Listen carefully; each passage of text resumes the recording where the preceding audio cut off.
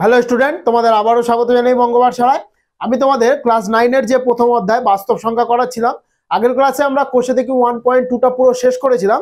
আজকে আমরা কোষে দেখি ওয়ান পয়েন্ট থ্রি থেকে শুরু করব। তো চলো শুরু করা যাক।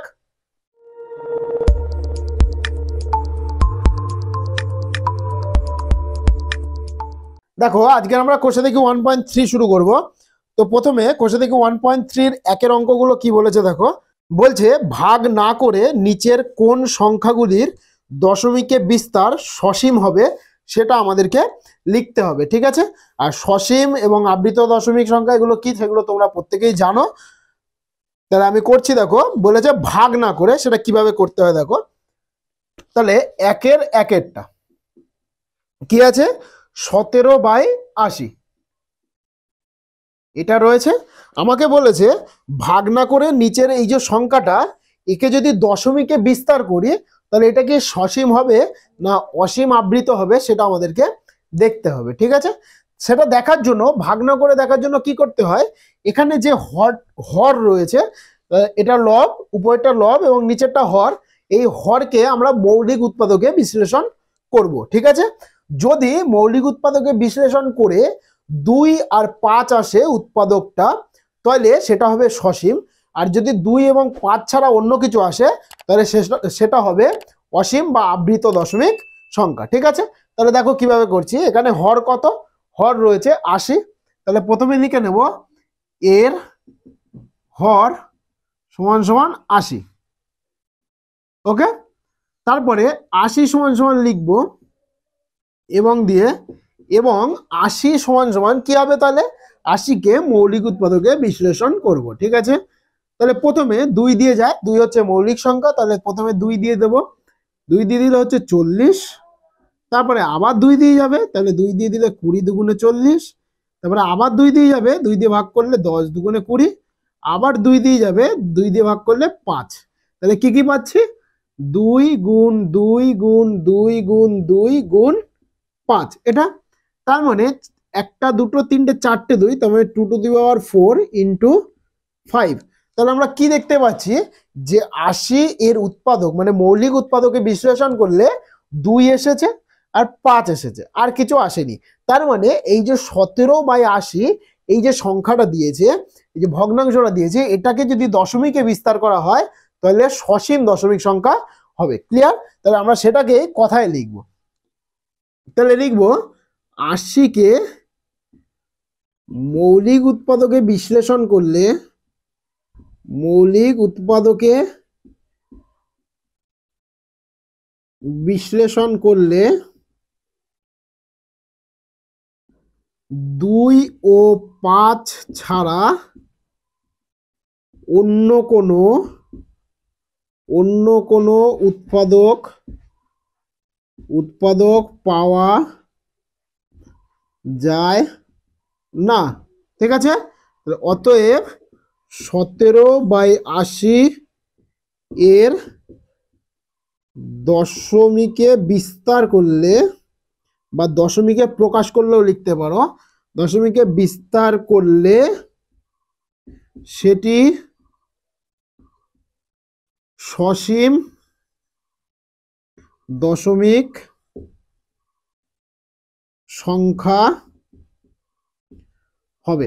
বোঝা গেছে? এটা কিন্তু আমাদেরকে কথায় লিখে দিতে হবে। যদি আমাদের পরীক্ষাতেও এরকম ধরনের প্রশ্ন থাকে তোমাদের, তাহলে কিন্তু কি করতে হবে? পুরোপুরি এরকম করে এবং এইটা লিখে তোমাদেরকে সেটা করতে হবে। ক্লিয়ার শুধু যে আমি এই দুই আর পাঁচ এসেছে বলে লিখে দিলাম যে সতেরো বাই আঠেরো, এই সতেরো বাই আশি হচ্ছে সসীম দশমিক সংখ্যা, এরকম লিখলে হবে না। পুরোপুরি ক্লিয়ারলি লিখতে হবে যে কেন তুমি এটাকে সসীম বলছো। ঠিক আছে? তার জন্য এই লেখাটা কিন্তু খুব দরকারি। ঠিক আছে? লিখে নাও তোমরা এটা, তুলে নাও। দেখো দুয়েরটা কি আছে? দুয়েরটা দিয়েছে তেরো বাই চব্বিশ। তাহলে এখানে হর কত? হর রয়েছে চব্বিশ। তাহলে আমরা আগে লিখে নেব, এর হর চব্বিশ এবং চব্বিশ সমান তাহলে উৎপাদকে ভেঙে দিই। তাহলে চব্বিশকে মৌলিক উৎপাদকে বিশ্লেষণ করব। প্রথমেই দুই দিয়ে যাবে, বারো দুয়ে চব্বিশ, ফের দুই দিয়ে যাবে, ছ দুয়ে বারো, ফের দুই দিয়ে যাবে, তিন দুয়ে ছয়। তাহলে কি কি হচ্ছে? দুই গুণ দুই গুণ দুই গুণ তিন, এটা? তাহলে সমান সমান তিনটে দুই মানে আমি দুইয়ের কিউব লিখতে পারি ইন্টু থ্রি এটা? তাহলে এখানে দেখো, এই যে চব্বিশ, চব্বিশের যখন মৌলিক উৎপাদকে বিশ্লেষণ করেছি, দুই এসেছে, কিন্তু তাছাড়াও আমাদের আরেকটা উৎপাদক চলে এসেছে, সেটা হচ্ছে তিন, ঠিক আছে? তাহলে যেহেতু তিন চলে এসেছে, তার মানে এটা কিন্তু আর সসীম দশমিক সংখ্যা হবে না। ক্লিয়ার তাহলে আমরা সেটাই লিখব যে চব্বিশ এর দুই ছাড়া অন্য একটি মৌলিক উৎপাদক তিন আছে। ক্লিয়ার কি লিখলাম এই কথাগুলোকে তোমরা তোমাদের মতো করে একটু সাজিয়ে লিখবে কিন্তু, ঠিক আছে? আমি যেরকম বলছি, পুরোপুরি এরকম কপি করতে হবে, এর কোনো মানে নেই। তোমরা তোমাদের মতো করে যেভাবে তোমাদের মনে হবে যে এইভাবে লেখা যেতে পারে, সেইভাবে তোমরা লিখতে পারো। ঠিক আছে? তাহলে কি পেলাম? তাহলে চব্বিশের দুই ছাড়া অন্য একটি মৌলিক উৎপাদক তিন আছে। তাহলে অতএব তেরো বাই চব্বিশ এর দশমিকে, তেরো বাই চব্বিশকে দশমিকে প্রকাশ করলে বা বিস্তার করলে বিস্তার করলে করলে সসীম সসীম দশমিক সংখ্যা পাবো না। ক্লিয়ার বা এখানে তুমি সসীম দশমিক সংখ্যা পাবো না বা অসীম দশমিক লিখে দিতে পারো, অসীম দশমিক সংখ্যা, সেটাও লিখতে পারো। ঠিক আছে, তাহলে বোঝা গেছে, তোমরা তুলে নাও এটা। দেখো, তিনেরটা কি বলেছে? তিনেরটা বলেছে সতেরো বাই বারো। কি বলেছে? সতেরো বাই বারো, ঠিক আছে? আমি কিন্তু এবারে পরপর করে যাব তোমরা শুধু ভালো করে দেখবে। ঠিক আছে? তাহলে বারো, এর হর হচ্ছে কত? এর হর সমান সমান হচ্ছে বারো এবং বারোকে মৌলিক উৎপাদকে ভাঙলে কি হবে? বারোকে একটু মৌলিক উৎপাদকে ভেঙে নিই, তাহলে বারো দুই দিয়ে গেলে ছ দুগুণে বারো, দুই দিয়ে তিন। তেমন হচ্ছে দুইয়ের পাওয়ার স্কোয়ার ইন্টু তিন। তাহলে কি দেখতে পাচ্ছি? বারো এর যে মৌলিক উৎপাদক সেটা দুই ছাড়া আর একটা তিন আছে। তাহলে সেটাকে লিখে নেব যে অতএব বারো এর দুই ছাড়া অন্য একটি অন্য একটি মৌলিক উৎপাদক, অন্য একটি মৌলিক উৎপাদক তিন আছে। অতএব সতেরো বাই বারোকে দশমিকে প্রকাশ করলে, দশমিকে প্রকাশ করলে সসীম দশমিক সংখ্যা পাবো না। ক্লিয়ার বোঝা গেছে তুলে নাও তোমরা? দেখো, চারেরটা কি আছে? চারেরটা বলছে ষোলো বাই একশো পঁচিশ। তাহলে এর হর কত? এর হর সমান সমান হচ্ছে ওয়ান টোয়েন্টি ফাইভ এটা এবং তাহলে একশো পঁচিশকে মৌলিক উৎপাদকে বিশ্লেষণ করলে কি হবে? পাঁচ গুণ পাঁচ গুণ পাঁচ মানে পাঁচ পাঁচে পঁচিশ, পাঁচ পঁচিশ, একশো পঁচিশ। তাহলে হচ্ছে পাঁচের মাথায় কিউব হচ্ছে এটা। ঠিক আছে? তাহলে কি দেখতে পাচ্ছি? যে একশো পঁচিশের উৎপাদক শুধুমাত্র পাঁচ হচ্ছে। তাহলে লিখব, অতএব একশো পঁচিশ এর মৌলিক মৌলিক উৎপাদক পাঁচ। অতএব ষোলো বাই একশো পঁচিশ কে দশমিকে প্রকাশ করলে, দশমিকে প্রকাশ করলে সসীম সসীম দশমিক সংখ্যা পাবো। কারণ এখানে শুধুমাত্র পাঁচ এসছে। তাহলে দুই পাঁচ, এটা হলেই সেটা সসীম হয়ে যায়, ঠিক আছে? তাহলে লিখে নাও এটা। দেখো, পাঁচেরটা কি আছে? পাঁচেরটা আছে চার বাই পঁয়ত্রিশ, এটা রয়েছে।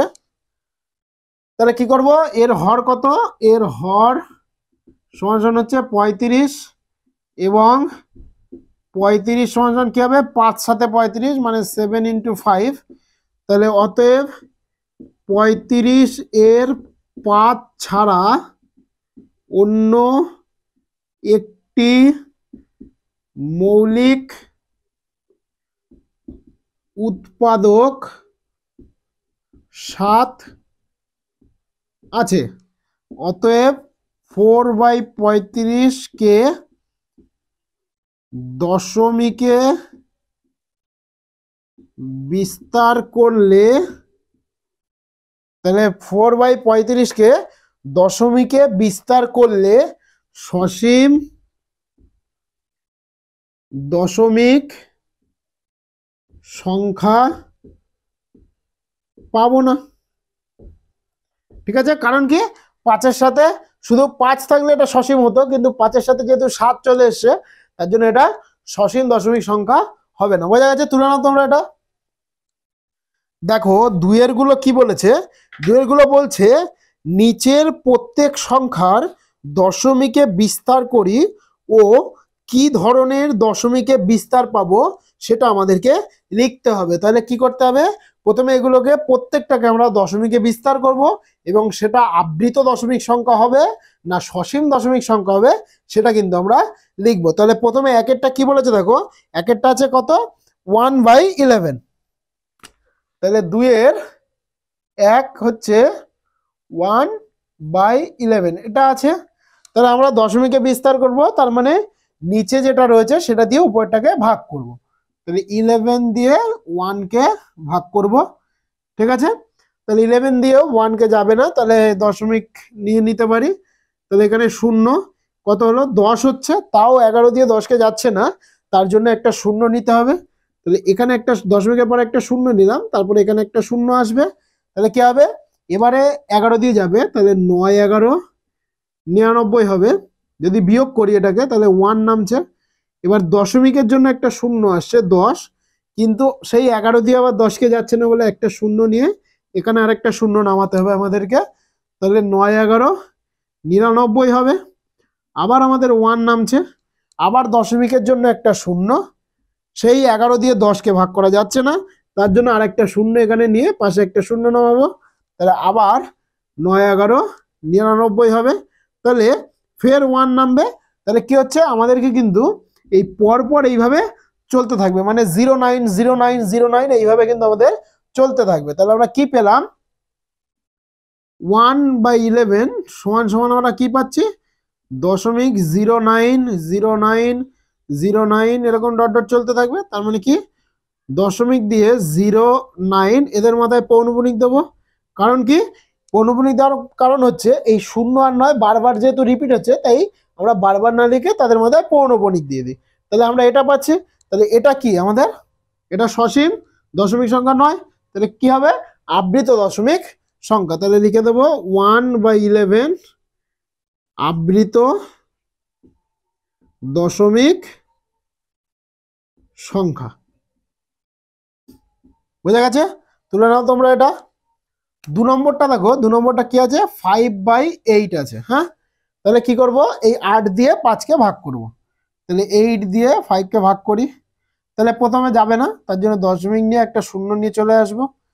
তাহলে এবারে যাবে ছয় আটে আটচল্লিশ হবে, ছয় আটে আটচল্লিশ, নামছে কত? দুই। তাহলে দুই নামছে, দশমিকের জন্য শূন্য কুড়ি। তাহলে হচ্ছে আট দুগুণে ষোলো তাহলে নামছে কত? চার। দশমিকের জন্য শূন্য চল্লিশ, তাহলে পাঁচ আটে চল্লিশ। তাহলে কি পেলাম আমরা? যে ফাইভ বাই এইট সমান সমান পেয়েছি কি? শূন্য দশমিক ছয় দুই পাঁচ। তাহলে এটা কি? এটা একটা সসীম দশমিক সংখ্যা। তাহলে আমরা লিখব ফাইভ বাই এইট সসীম সসীম দশমিক সংখ্যা। বোঝা গেছে? তুলে নাও তোমরা। দেখো, এরপরে তিনের যেটা রয়েছে, তিন বাই তেরো, এটা তোমরা নিজেরাই করে নেবে, আমি চারেরটা করছি। চারেরটা কি আছে দেখো? তিন পূর্ণ, ওয়ান বাই এইট রয়েছে। তাহলে চারেরটা কি আছে?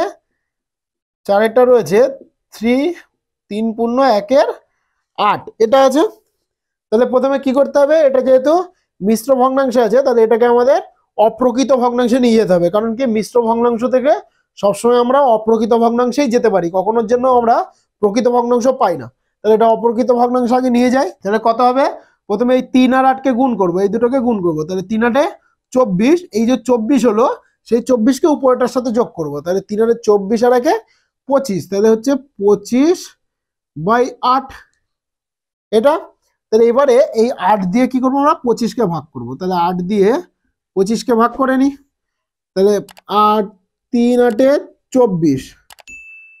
তাহলে নামছে বিয়োগ করলে এক।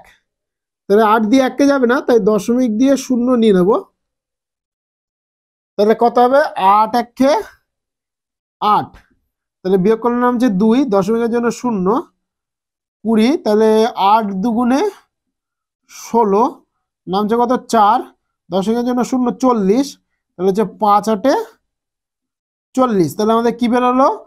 Twenty five by eight equal to বেরোলো কত? Three point one two five. এটা, তাহলে এটা কি? একটা সসীম দশমিক সংখ্যা।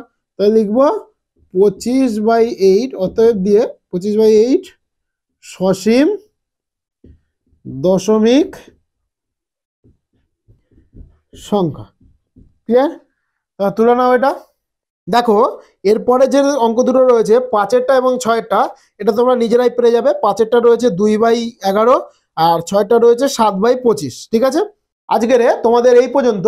পরের ক্লাসে আমরা এর পরের থেকে মানে তিনের দাগ থেকে শুরু করব।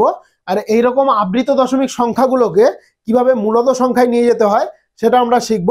তো আজকে এই পর্যন্ত। দেখা হচ্ছে আবার পরের ক্লাসে